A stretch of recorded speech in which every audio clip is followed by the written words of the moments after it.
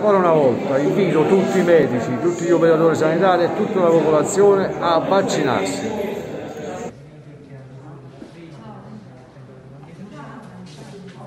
Di speranza e di coraggio. Sì, soprattutto di speranza. Di coraggio, diciamo, ce ne vuole ben poco, però eh, la speranza è quella che noi oggi cerchiamo.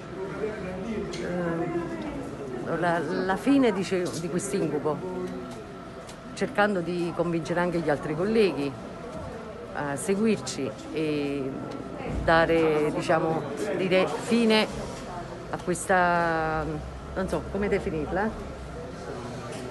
Dramma. Ci sono state scene che non potremmo mai dimenticare. Mai. E questa è l'unica arma che ci è stata data.